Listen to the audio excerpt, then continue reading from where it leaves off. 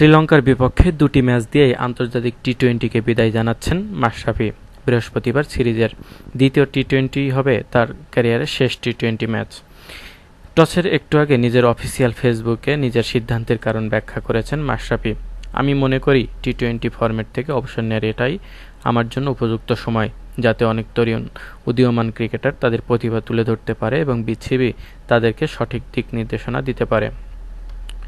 বাংলাদেশ টিমকে T twenty ইন্টারন্যাশনালে দশ বছরের বেশি সময় ধরে প্রতিনিধিত্ব করাটা আমার জন্য অনেক গর্বের, আমি বিশ্বাস করি। বর্তমান দলটি একটি ভালো দল এবং দলে কিছু উদীয়মান খেলোয়াড় আছে।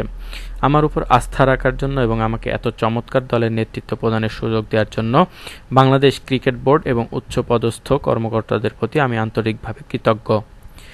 টি টোয়েন্টির ভবিষ্যৎ অধিনায়ককে শুভকামনাও জানিয়েছেন মাশরাফি। আমি আমার সকল ভক্ত, পরিবার এবং বন্ধুদের প্রতি অত্যন্ত কৃতজ্ঞ আমাকে সবসময় সমর্থন প্রদান করার জন্য। এই সুদীর্ঘ কেরিয়ারে উত্থান এবং পতন ছিল। আমি সবসময় চেষ্টা করেছি আমার ফ্যানদেরকে খুশি করার।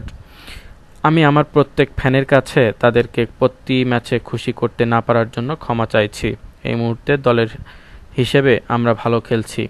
আমি নিশ্চিত বাংলাদেশ সামনের দিনগুলোতে ভালো ক্রিকেট খেলবে।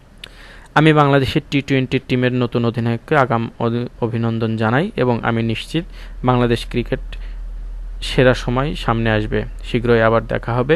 সকলের জন্য আমার আন্তরিক ভালোবাসা।